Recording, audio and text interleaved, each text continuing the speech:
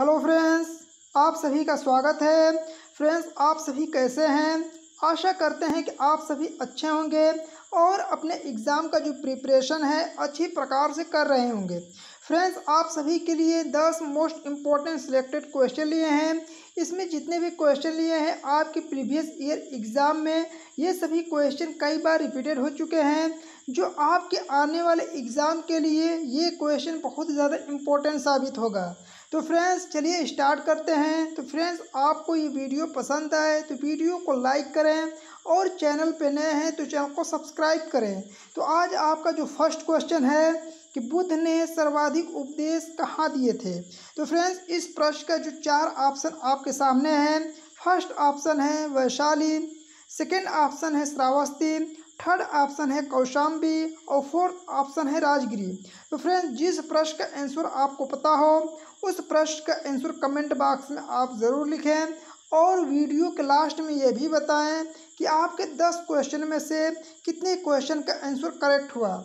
तो फ्रेंड्स इस प्रश्न का जो राइट आंसर होगा बी होगा श्रावस्ती। तो बुद्ध ने सर्वाधिक उपदेश श्रावस्ती में दिया था। चलिए नेक्स्ट क्वेश्चन को देखते हैं। आपका नेक्स्ट क्वेश्चन है कि दूरबीन का आविष्कार किसने किया था? इस प्रश्न का भी चार ऑप्शन आपके सामने हैं।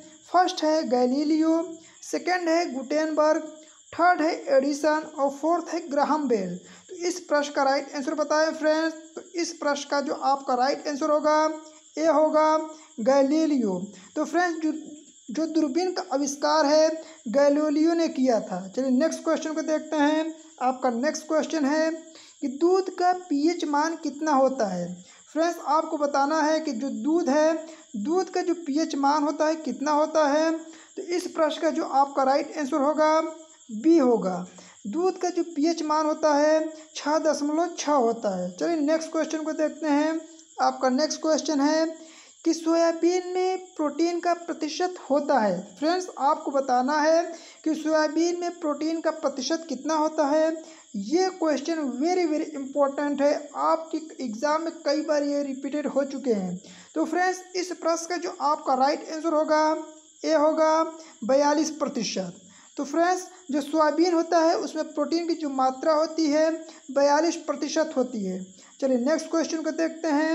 आपका नेक्स्ट क्वेश्चन है कि पृथ्वी पर सबसे अधिक मात्रा में पाया जाने वाला तत्व है। फ्रेंड्स, इस प्रश्न का चार ऑप्शन आपके सामने है। फ़र्स्ट है ऑक्सीजन सेकेंड है सिलिकॉन थर्ड है एल्युमिनियम और फोर्थ है लोहा। तो फ्रेंड्स, इस प्रश्न का जो राइट आंसर होगा ए होगा ऑक्सीजन पृथ्वी पर सबसे अधिक मात्रा में पाए जाने वाला जो तत्व है, ऑक्सीजन है। फ्रेंड्स, आप यहाँ पे ध्यान दीजिएगा कि यहाँ पे तत्व पूछा है। लेकिन यही क्वेश्चन आपसे पूछता कि पृथ्वी पर सबसे अधिक मात्रा में पाए जाने वाला धातु, यदि धातु पूछता तो एल्यूमिनियम बताते। लेकिन क्वेश्चन में यहाँ पे पूछा है तत्व तो तत्व जो है सबसे अधिक मात्रा में पृथ्वी पर पाया जाता है, वो है ऑक्सीजन तो इन दोनों प्रश्नों में जो अंतर है उसको आप ध्यान दीजिएगा। चलिए नेक्स्ट क्वेश्चन को देखते हैं।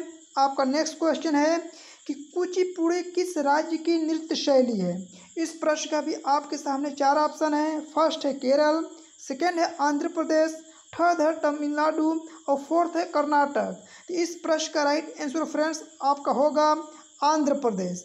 यानी कि इस प्रश्न का राइट आंसर बी होगा कि कुचिपुड़ी आंध्र प्रदेश की नृत्य शैली है। चलिए नेक्स्ट क्वेश्चन को देखते हैं। आपका नेक्स्ट क्वेश्चन है कि काजीरंगा उद्यान किस लिए जाना जाता है?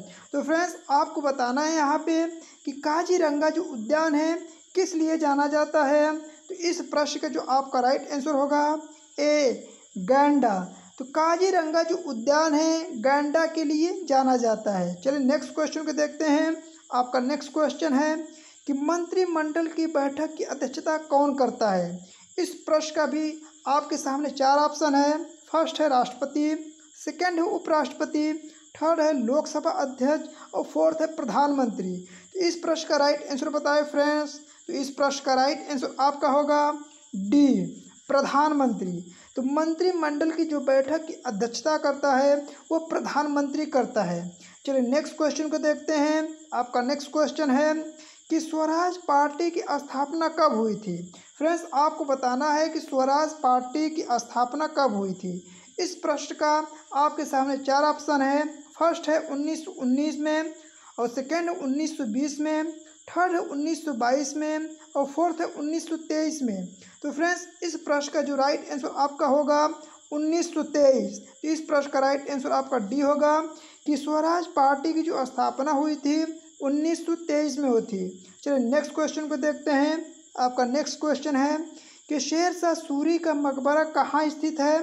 फ्रेंड्स, आपको बताना है कि शेर शाह सूरी का मकबरा कहाँ स्थित है। तो फ्रेंड्स, इस प्रश्न का भी आपके सामने चार ऑप्शन है।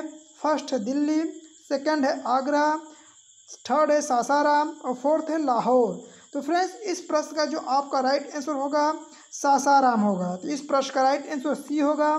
शेर सूरी का जो मकबरा है, सासाराम में स्थित है।